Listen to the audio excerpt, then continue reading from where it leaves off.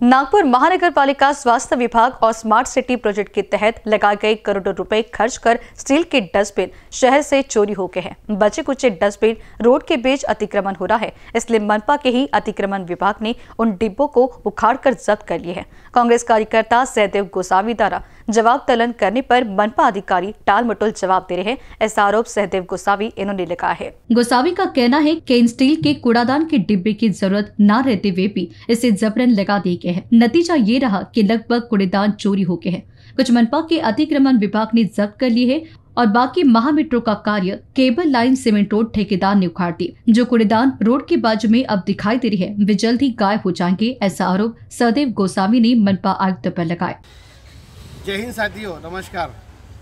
स्वच्छ भारत अभियान, जो नागपुर में, नागपुर स्मार्ट सिटी में जो स्वच्छ भारत अभियान का जो एक भ्रष्टाचार चल रहा है उसकी एक जीती जाती तस्वीर मैं आपको बता रहा हूँ। ये जो डब्बे हैं, ये डब्बे करोड़ों रुपए खर्चा करके नागपुर महानगर पालिका ने पूरे शहर में जगह जगह इनको इंस्टॉल किए, यानी उनको लगाए।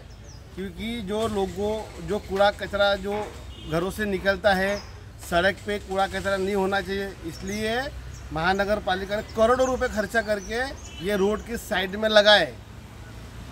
रोड में साइड, रोड के साइड में लगाने के बाद हम आज Nehru Nagar zone Lakadganj zone Satranjipura zone इन सभी में इनकी जानकारी ली तो उन, इनकी ये जो डब्बे रोड के साइड में जो लगे हैं, इनकी देखरेख, इसकी ज़िम्मेदारी किसकी है? तो ये इनका कहना है कि ये ज़िम्मेदारी हमारी नहीं है नागपुर महानगर पालिका के, ये डब्बे हैं।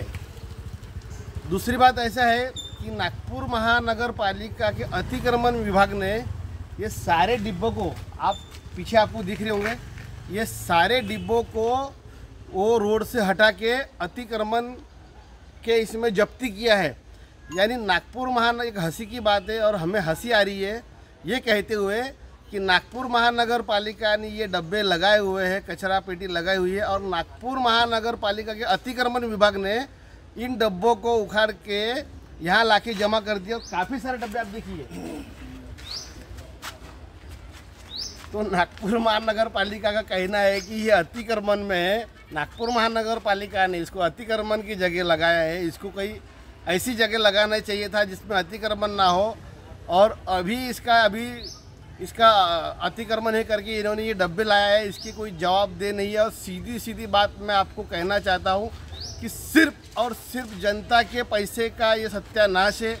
जनता के पैसे की ये फिजूल खर्ची है।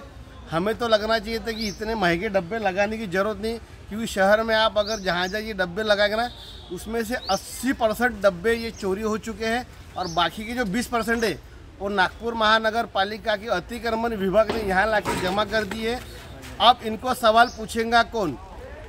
इसको लगाने वाली ही नागपुर महानगर पालिका है और इन डब्बों को उखाड़ के अतिक्रमण विभाग में जमा करने वाली ही नागपुर महानगर पालिका का ये नेहरू नगर जोन है। तो इनसे सवाल पूछेगा कौन? इसका जवाब देगा कौन? जय हिंद। कैमरा पर्सन राजकुमार मोहर के साथ अभिषेक पांसी की रिपोर्ट।